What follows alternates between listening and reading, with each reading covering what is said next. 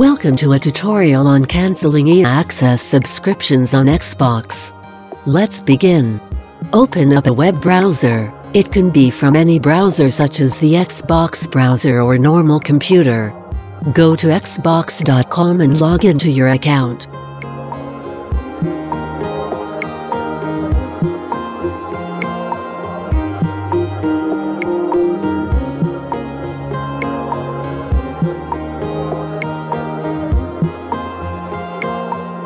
Once you are logged in, click on your profile image thumbnail and click on Microsoft account.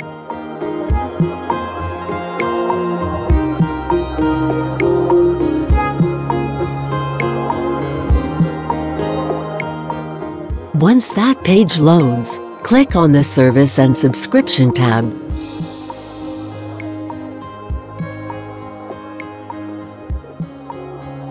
This page will list all of your current Xbox subscriptions. Underneath the EA Access info, click on Manage.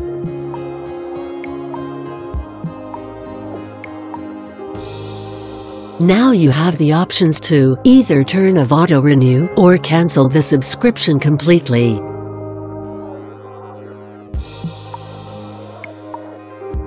Click on Cancel. If you bought EA Access recently, you should be entitled to a refund, like I am here. Click End now and get a refund. You will lose access to the subscription immediately when you do.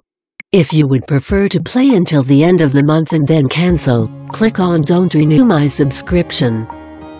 On the next page you will need to confirm your decision.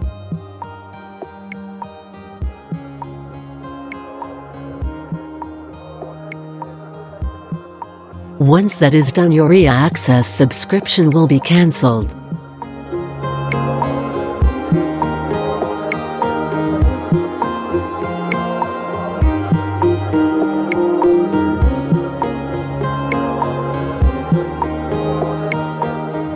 Go back to your service and subscription window to make sure.